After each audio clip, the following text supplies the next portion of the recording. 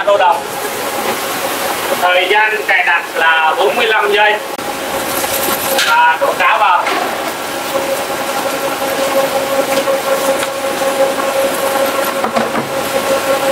Đóng chặt cửa vào và bấm công tắc để cho máy chạy.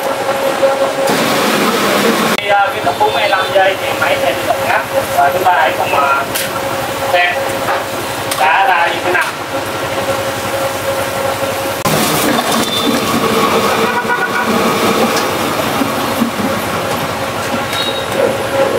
và đây là thành phẩm của chúng ta rất là sạch vải.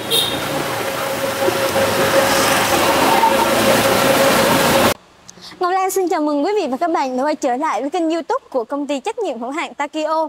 Và con máy tiếp theo Ngọc Lan xin giới thiệu tới quý vị và các bạn đó chính là con máy Takio TK500 Với đó chính là con máy đánh vảy cá.